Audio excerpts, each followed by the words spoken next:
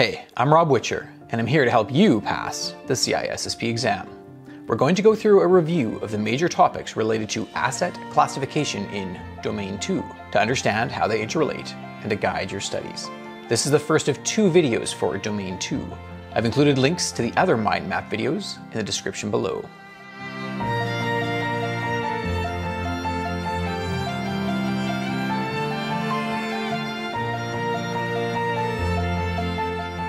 Asset classification is fundamentally about ensuring that assets receive the appropriate level of protection.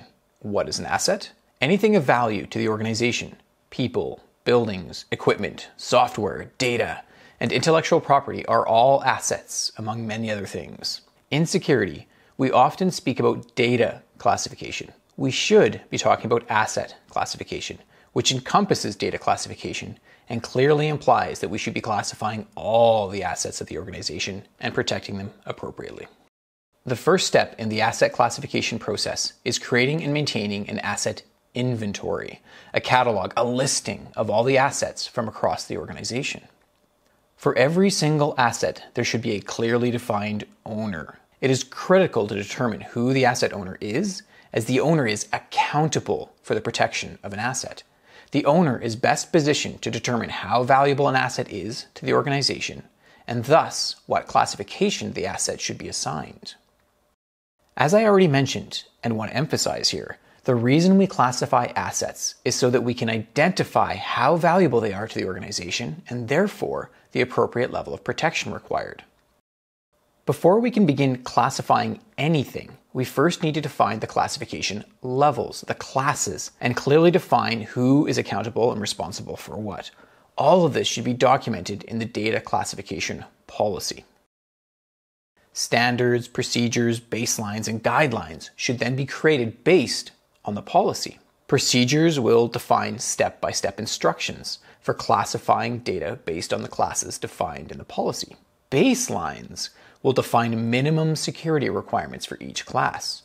Remember that point for the exam. Classification is a system of classes ordered according to value. For example, public, proprietary, and confidential may be the three classes that an organization defines, with public being the least valuable and confidential being the most. Different organizations will choose different classes based on whatever best suits their needs. So don't memorize any particular classification scheme as they vary significantly from organization to organization. Labeling is noting the classification of an asset on the asset. Labeling is essentially the what, what the classification is for the asset. For example, putting a label on a backup tape noting that the tape is top secret. This is labeling. Marking is the how, how the asset should be protected based on its classification. Marking involves noting the handling instructions on the asset based on the classification, how the asset should be protected. And the final major piece here is categorization, which is the act of sorting assets into the defined classes. Categorization is a process of putting assets into different classes. How do we go about protecting assets based on their classification? We can begin by having clearly defined roles of who is accountable and responsible for what. The data owner, also known as the data controller, is the most important role, as the owner is accountable for the protection of the data. The owner will define the classification for data, and the owner is then accountable for ensuring the data is protected accordingly.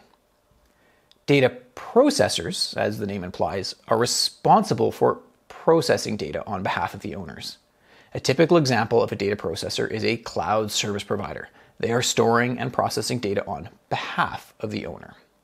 Data custodians have technical responsibility for the data, meaning custodians are responsible for ensuring data security, availability, capacity, that backups are performed, and that data can be restored. They are responsible for the technical aspects of data. Data stewards, on the other hand, have a business responsibility for the data meaning stewards are responsible for ensuring data governance, data quality, compliance. Essentially, data stewards are employees from the business who are responsible for ensuring the data is useful for business purposes. And the data subject is the individual to whom any personal data relates. It is data about them. We can also think about how we would protect data based on whether it's at rest, on a storage device somewhere, or in motion across the network, being used, archived, or even defensively destroyed. We'll start with techniques for protecting data at rest. One of the major techniques we can use is encryption. We can use one of the many excellent encryption algorithms, which we'll discuss in Domain 3, to encipher the data and turn it into ciphertext. The ciphertext is then well protected unless an attacker can get their hands on the correct encryption key to decipher the data, or they discover a flaw in the encryption. We can further have strong access controls in place, which I've discussed in Domain 5, to ensure that only properly authenticated and authorized individuals have access to the data. We can implement controls like multi-factor authentication and have good logging and monitoring in place to make sure users are accountable for what they do with the data. To ensure data is not accidentally lost or destroyed, we can have all sorts of different data backup and data resiliency controls, which I discussed in Domain 7 and will link to below. The next major grouping of controls we can look at for protecting data are for data in motion, data that is in transit across a network. All of these data in motion controls involve encrypting the data in some fashion while it is in transit across a potentially insecure network.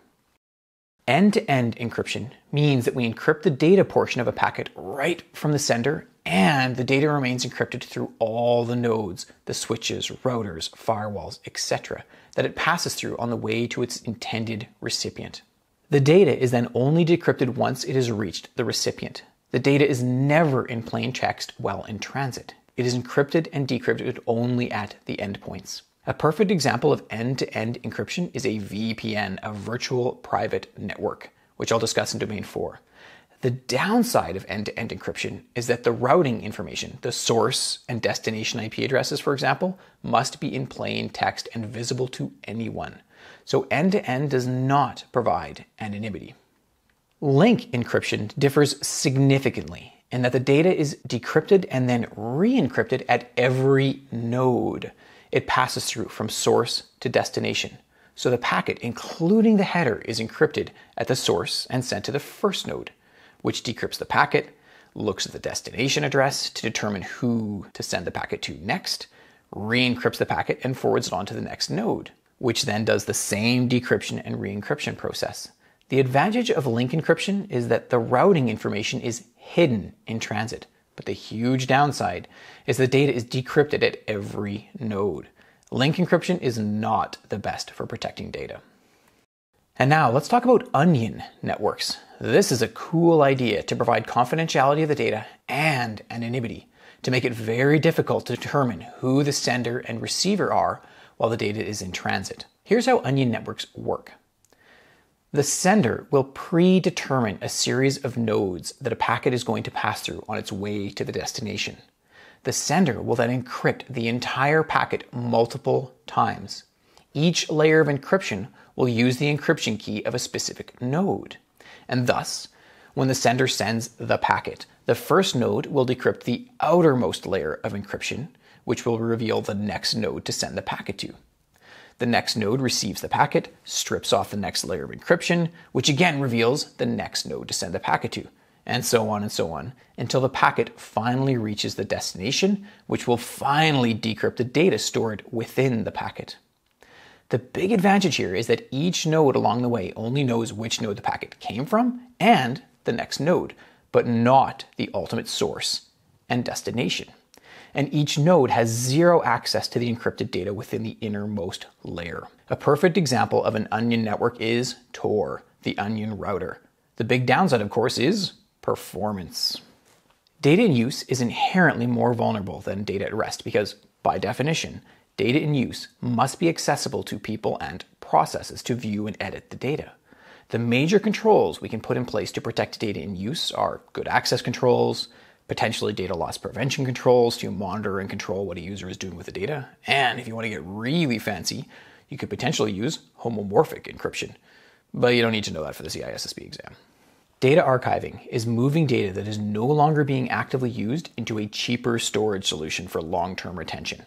From a security perspective, we need to ensure we retain archived data for a sufficient period of time to meet requirements as defined by the data classification policy.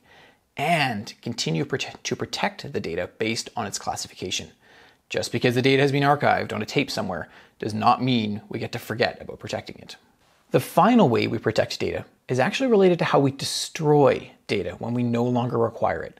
There are laws, regulations, and contracts which require us to defensibly destroy data, which means we must securely destroy the data and render it unrecoverable in a manner that will stand up as reasonable and consistent. We can prove the data is unrecoverable. There are many ways to destroy data, and some are much better than others.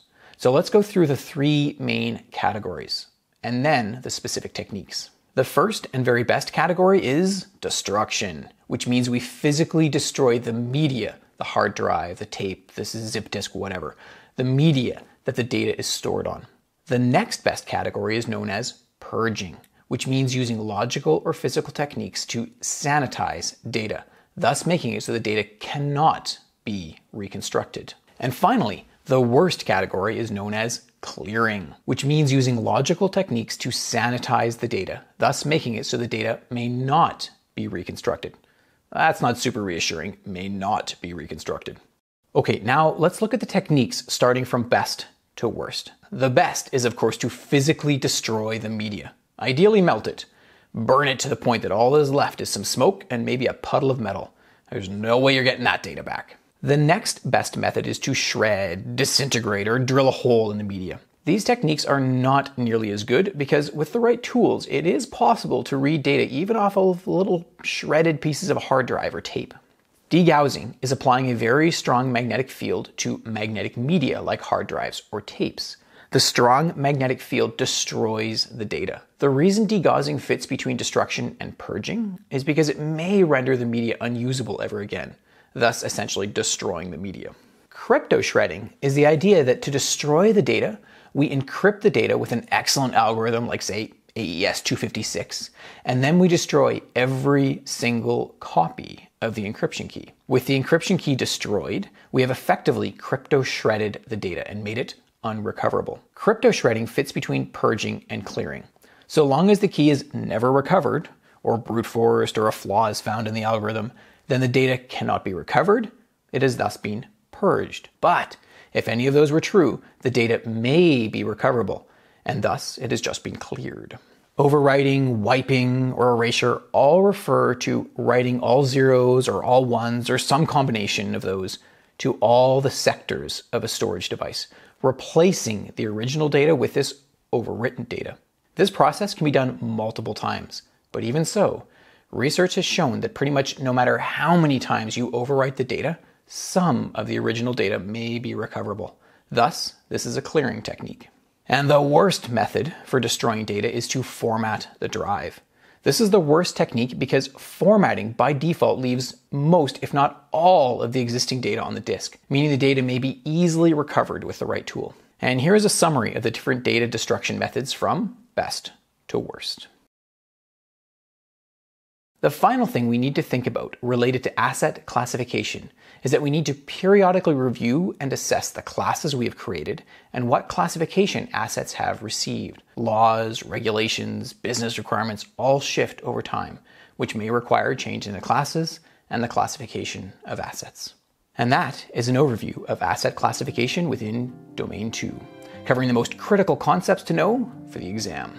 If you found this video helpful, you can hit the thumbs up button. And if you want to be notified when we release additional videos in this mind map series, then please subscribe and hit the bell icon to get notifications. I'll provide links to the other mind map videos in the description below. Thanks very much for watching, and all the best in your studies.